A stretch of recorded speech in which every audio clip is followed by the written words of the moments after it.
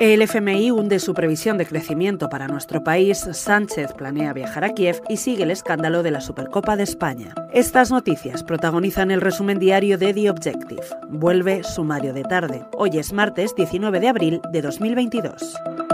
La guerra en Ucrania y la inflación siguen enfriando las perspectivas económicas de España. El Fondo Monetario Internacional ha recortado sus previsiones macro de la edición de abril de su informe Perspectiva Económica Mundial. En el caso de España, el organismo contempla una rebaja del PIB de un punto porcentual, hasta situarla en el 4,8% en 2022.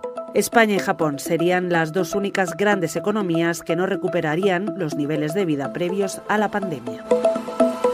Sobre la guerra de Ucrania y en clave nacional, el presidente del gobierno, Pedro Sánchez, viajará estos próximos días a Kiev para reunirse con su homólogo ucraniano, Volodymyr Zelensky. Según ha podido saber The Objective, el viaje de Sánchez a Ucrania se prolongará durante varios días en los que el presidente tendrá varios actos oficiales en su agenda, entre los que se incluye dicha reunión. Son ya varios los mandatarios y líderes internacionales que han viajado a Ucrania para reunirse con Zelensky tras la invasión rusa, entre ellos Ursula von der Leyen Boris Johnson.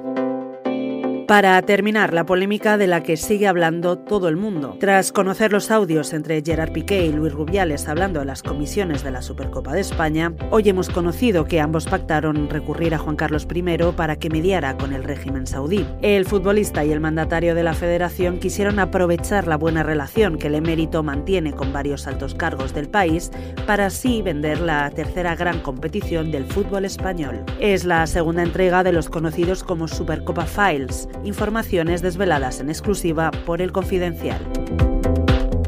Lo dejamos aquí por hoy. Te lo ha contado Cecilia de la Serna. Lee estas y otras muchas noticias en theobjective.com, como siempre en abierto. Mañana volvemos con más.